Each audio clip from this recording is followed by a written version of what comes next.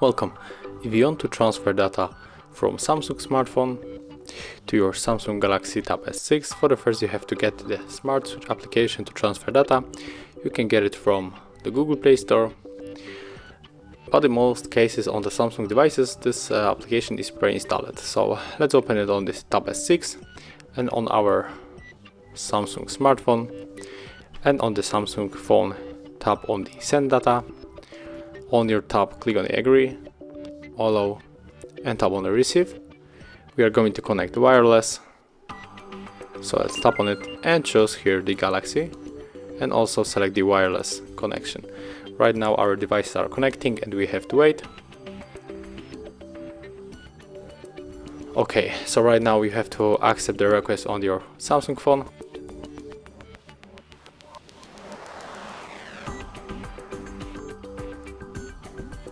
Here you have to swipe up and if you want to take everything, just leave it like that and click on the transfer button.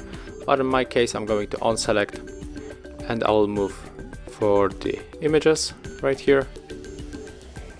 And I will all select all and maybe take these two photos, tap on it done, click on the transfer.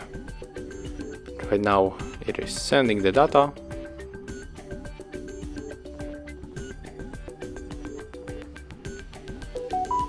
Okay let's check if it is working. So let's move to the my files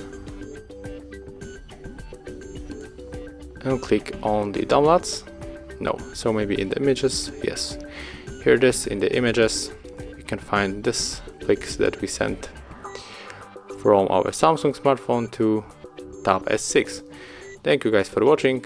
Leave thumbs ups comments and subscribe to our channel